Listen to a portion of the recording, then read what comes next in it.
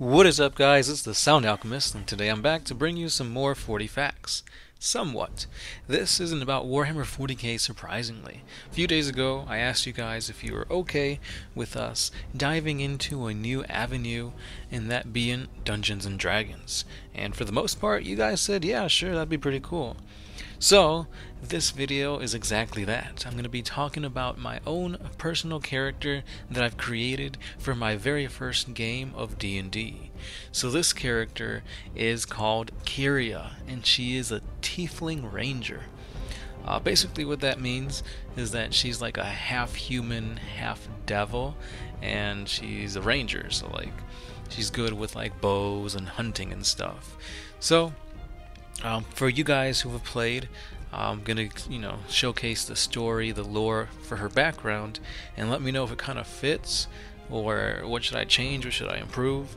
Because I mean, the whole part of D&D is to progress your character, but there's got to be some backstory to it. That way, you can tell your dungeon master, and they can kind of incorporate that into the quest that's going on, to the whole world building aspect. So, without further ado, here is the lore on Kiria, the Tiefling Ranger. Amongst the edge of the woods in a small cabin, a newborn's cry radiates out. And much to the dismay of the new parents, their daughter appeared rather different. Tufts of silver white hair sprouted from her head, as flesh pink cheeks cooed at the strange world. The center of attention, however, was her tail. And with this, her father knew instantly that these features were brought about by an ancestral curse. Long ago, the father's ancestors strived to summon a powerful demon from the Nine Hells during a war, and such help required a price that was never paid. As punishment, the demon placed a hellish curse upon the family.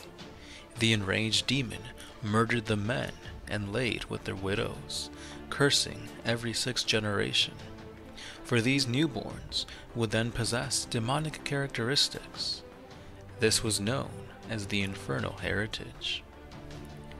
For years, Kiria had to be hidden from the other villagers for fear of humans and their ignorance towards the tieflings. Unfortunately, their fears would soon be realized. For one cold night, Kiria and her father came across an injured man while they were out hunting in the woods. This turned out to be a trap, as the injured man's companion sought out to ambush the pair, as the father tended to his wounds. Kiria, using her dark vision, fired a warning arrow towards one of the men. The thieves then brandished their knives, as one bandit followed his attack towards Kiria, until her father valiantly pushed her out of the way, taking the knife to the gut in the process. This sequence of events caused Kiria to go into a blinding rage, firing a volley of arrows into the body of a nearby bandit. She then pounced on top of his almost lifeless body, continuing her deadly assault as she ravaged on. This infernal sight caused fear into the hearts of the other thieves, as their glowing torches revealed Kiria's demonic nature. Her father quickly tore her away from the decaying body, fleeing with his daughter towards their cabin. Covered in blood, Kiria's mother rushed to their side as they returned to the cabin. The father relayed the events and urged them that they had to leave at once, knowing that soon the townsfolk would be at their door with pitchforks and torches. Kiria could feel the emotions within her father's speech, and instantly she knew that she was to blame. She absolutely hated her features, and above all, she hated herself. Her mother dressed Kiria's wounds as well as her father's. However, they knew that this was a mortal wound, and that there would be no help to give her father. The family, however, continued to pack, but they were soon greeted with the murderous chants outside of their cabin. Kill the demon! Burn the devil child! Kiria quickly sprung into action, grabbing her bow and arrows, while the anger fueled inside of her. However, these thoughts of anger were silenced by the tender touch of her father, placing a calming hand upon her head. So quick to anger, my little hothead. His warm smile burned into her memory as her anger dissipated. Her father gave himself up to confront the mob, giving them time for Kiria and her mother to escape. A hooded man then stepped into view, smirking in all of his grandiose nature, as he persuaded the townsfolk into their bloodlust. The cabin was then soon engulfed in flames, brightly burning into the night sky, as Kiria and her mother could only watch in horror. The hooded man then unsheathed his black midnight blade and plunged it deep into the heart of Kiria's father. Her mother let out a screech and rushed to her husband.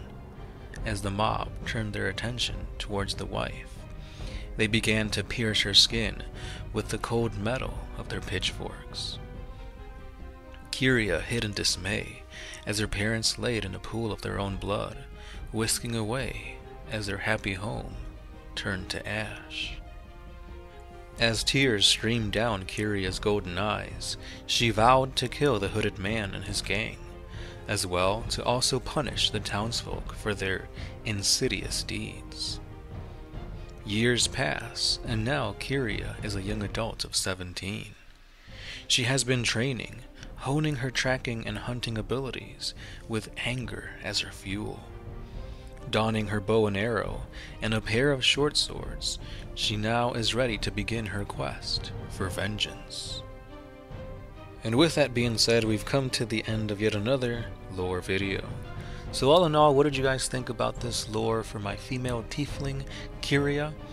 Again, if you guys have been playing Dungeons and Dragons, I want to know if this kind of fits with the theme, the overall encompassing world building aspect, because with the events that transpired, it gives her something to fight for. Um, she now has a, a group that she has now vowed to kill, and she's she's going to be honing her abilities. So with this being said, she could maybe meet up with some, you know, travelers and kind of use them towards figuring out where the hooded man and his bandits have gone to, or how she can then punish the townsfolk, whether it be through her infernal heritage as like using her demonic abilities, or maybe she's gonna stick to the ways of the hunter. It, it could go either way, but yeah, that's what I've got. The images you see here, I didn't want to pick too much, um, but they're as close as what I could find online for what I envisioned my tiefling to look like. Um, so hopefully I can get this commissioned to get the image in my head out to you guys. But um, yeah, I mean, these images are pretty close. If you do want to see the artists, I'll put the links to their um, pages down in the description below. But yeah, that's what I've got for today. Again, guys, we're not going to bombard you with D&D stuff. Um, this is going to be mostly 40k.